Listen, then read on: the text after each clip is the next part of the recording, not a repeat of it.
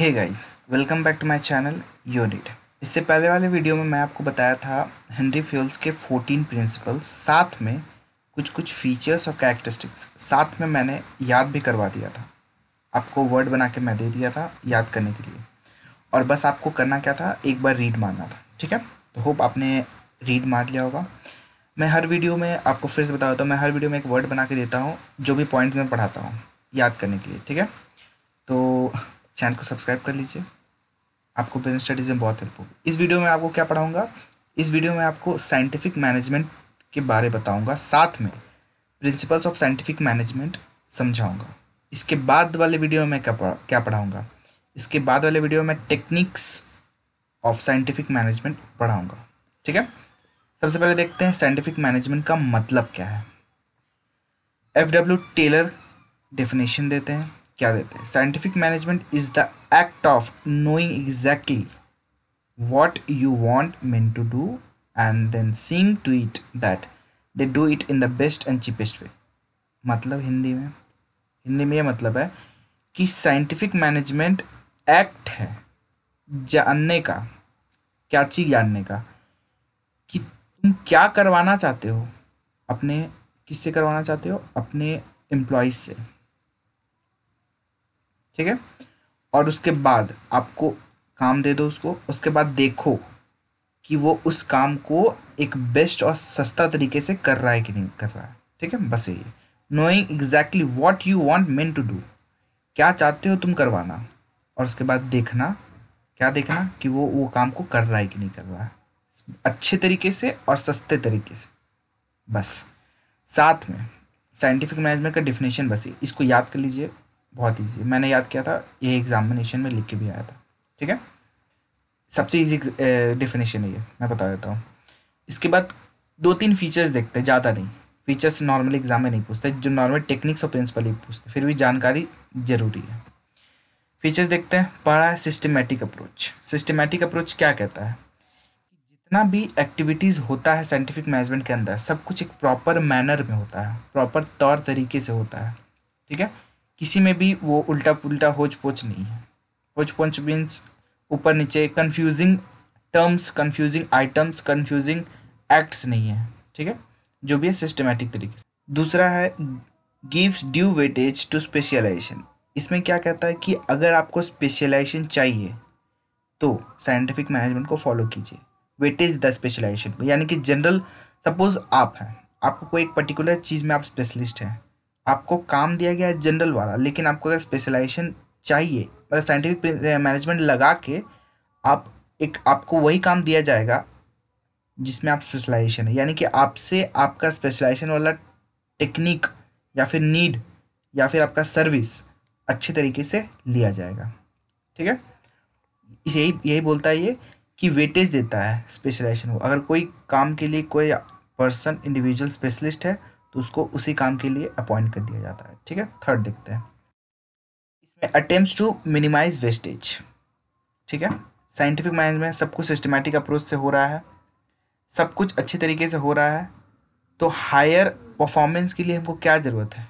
Wastage को minimise करना, जो कि साइंटिफिक मैनेजमेंट को अप्लाई करके होता है। ठीक है और अच्छा तरीका बेस्ट और चीपेस्ट वे से होता है। सबसे पहली बात बार बार आपका वर्क को मेज़र किया जाता है, जिससे आपका वेस्टेज का चांस कम हो जाता है, ठीक है? अब हम लोग देखते हैं, ये तीन ही बताया मैं। आपको ज़्यादा मतलब कि नॉर्मली याद रहा तो कोई बात नहीं नॉर्मली पूछते हैं। डिफिनेशन आपको याद रखना ज़रूरी है। इसके बाद देखते हैं प्रिंसिपल्स ठीक है? प्रिंसिपल्स ऑफ़ साइंटिफिक मैनेजमेंट आपको जिस बुक से पढ़ना है, पढ़िए नो प्रॉब्लम मैं समझा रहा हूँ, ठीक है? क्योंकि एग्ज़ाम में हॉट्स क्वेश्चन आते हैं मीन्स वैल्यू बेस्ड क्वेश्चन आते हैं तो उसमें आपको समझाना ही मेन इंपॉर्टेंट है। सबसे पहला है साइंस नॉट रूल ऑफ़ थम ये क्या कहता है?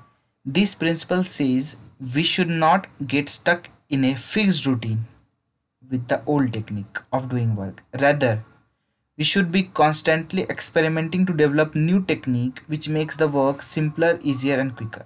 Means क्या है साइंस आपको पता ही है हमेशा न्यू न्यू चीज़ डेवलप करने के पीछे लगा रहता है ठीक है उसी तरीके से अगर मैनेजमेंट में भी प्रिंसिपल को अप्लाई किया जाए तो ये प्रिंसिपल कहता है कि एक पर्टिकुलर रूटीन या पर्टिकुलर टेक्निक में आपको चिपके हुए नहीं रहना है। अगर कोई काम में हमेशा एक्सपेरिमेंट होना चाहिए, हमेशा न्यू टेक्निक डेवलप होना चाहिए, किस लिए? कि कोई भी काम अच्छे, जल्दी और आसान तरीके से हो चक हो सके। बस, ये प्रिंसिपल यही कहता है। हमको न्यू न्यू टेक्निक डेवलप करना है, जिससे हमारा काम अच्छा सिंपल और जल्दी हो सके। साइंस नॉट रूल ऑफ़ थम एक जगह नहीं चिपक के रहना। ठीक है? ये था फ़र्स्ट प्रिंसिपल सेकंड देखते हैं। Harmony not discord harmony not discord क्या कहता है? कि हमको एक ऐसा इन्वामेंट बनाना है, ऐसा इन्वामेंट बिल्ड करना है, जिसमें एक दूसरा आदमी एक दूसरा का मदद करे, काम को फुलफिल करने में। ठीक है? कोई अपना अपने से मतलब ना रखे। कॉपरेशन हो, मिलके ठीक है इसमें पढ़ते हैं क्या लिखा an atmosphere should be created in the organisation that labour and management consider each other indispensable बस, खत्म। एक ऐसा इन्वायरमेंट बिल्ड करना है, जिसमें लेबर और मैनेजमेंट दोनों का प्रॉपर इंट्रैक्शन हो प्रॉपर तरीके से फ़ंक्शन हो अपना अपना काम अच्छे तरीके से करे, जिसमें डिस्कॉर्ड कन्फ्यूज़न या फिर किसी भी तरीके का झगड़ा क्योस ना हो। ये प्रिंसिपल यही कहता है, ठीक है? और कुछ नहीं। रीड कर लीजिए अपने बुक से। बात खत्म। इतना ध्यान, जितना मैं बता रहा हूँ, बस उतना ध्यान रखिएगा। थर्ड अगर आप भूल भी जाते हैं तो जो मैं बताया, मैं मुँह से निकला, अगर आपके दिमाग में बैठ जाता है या फिर याद है, आप उसे लिख के ही आपके एक नंबर नहीं कटेगा, ठीक है? थर्ड देखते हैं। Cooperation not individualism all the activities done by different people must be carried on with a spirit of mutual cooperation. Taylor has suggested that the manager, managers and the workers should jointly determine standards. Means cooperation is essence of management अब अगर आपने नहीं देखा तो पिछले पिछले का पिछले का पता नहीं कौन सा वीडियो मैंने अपलोड किया जाके देख लीजिए। कॉपरेशन का पूरा मतलब समझ में आ जाएगा आपको ठीक है? साथ में सारा पॉइंट्स भी याद करवा दिया मैंने। इस वाले कॉपरेशन नॉट इंडिविजुअल में क्या कि कोई भी आदमी अपने आप को अकेला नहीं फील करेगा। ये प्रिंसिपल यही कहता है। सबको बराबर से मिल के काम करना है। ठीक है? अगर कोई अकेला अकेला फील कर रहा है तो उसमें मैनेजर का रिस्पॉन्सिबिलिटी है कि उसको साथ में सबका लाएँ, साथ में सबका ला के काम करवाएँ। ठीक है? अकेला कोई फील नहीं करना चाहिए। जिससे उससे क्या होता है? डिमोटिवेट हो जाता है। उसका एफिशिएंसी कम हो जाता है।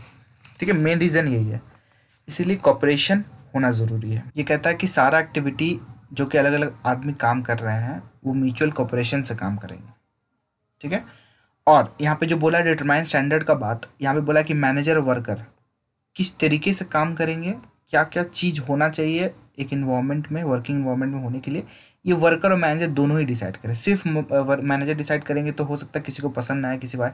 इसलिए सबसे पूछ के राय लेके जो काम करना है करना है। कॉपरेशन नॉट इंडिविजुअलिज्म ठीक है? फोर्थ देखते हैं।